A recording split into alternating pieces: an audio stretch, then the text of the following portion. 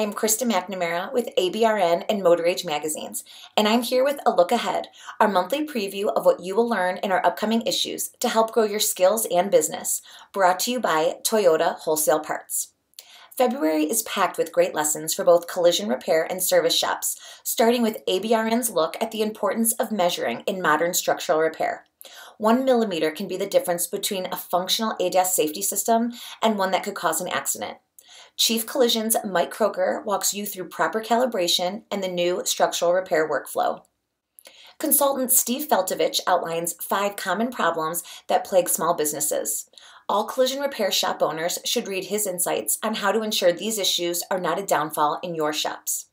Finally, here's a top 10 list we can all get behind. Lord's Douglas Craig has 10 practical takeaways to apply to your repair process in 2020 to improve your shop's research and documentation, training, product selection, and more. Our Motor Age readers will definitely want to check out this month's edition of The Trainer, in which Director of Training Pete Meier lays out common causes of AC compressor failure.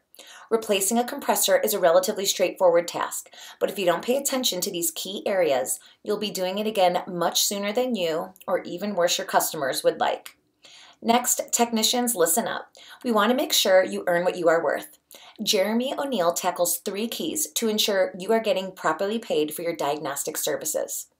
Lastly, imagine you have one voltmeter lead on the negative battery post and the other on the alternator case. Both ground points, but your meter reads voltage. Learn more about reading voltage when you think you shouldn't and what the meter is trying to tell you. That's just the start of what you'll find in the February issues of ABRN and Motor Age. Watch your mailboxes and inboxes for all of these stories and more great best practices. I'm Krista McNamara, and thanks again for joining us for this month's A Look Ahead, brought to you by Toyota Wholesale Parts.